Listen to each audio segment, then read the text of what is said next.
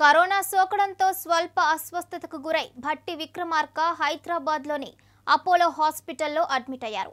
అన్ని రకాల వైద్య పరీక్షలు నిర్వహించిన అపోలో ఆసుపత్రి వైద్యులు భట్టి విక్రమార్క ఆరోగ్య పరిస్థితి నిలకడగా ఉందన్నారు. ప్రస్తుతం తన ఆరోగ్యం నిలకడగా ఉందని ఆందోళన చెందాల్సిన అవసరం లేదని స్వయంగా భట్టి విక్రమార్క వెల్లడించారు. ఇటీవల తనను కలిసిన వారు తప్పనిసరిగా కోవిడ్ పరీక్షలు చేయించుకోవాలని సూచించారు. కాంగ్రెస్ పార్టీ కార్యకర్తలు నాయకులు అభిమానులు ఎలాంటి ఆందోళనకు గురి కావద్దని ధైర్యం చెప్పారు. కార్యకర్తలు నాయకులు కలవడానికి హైదరాబాద్కు రావద్దని విజ్ఞప్తి చేశారు. కోవిడ్ నుంచి కోలుకున్న తర్వాత తాను అందరినీ కలుస్తానని అన్నారు.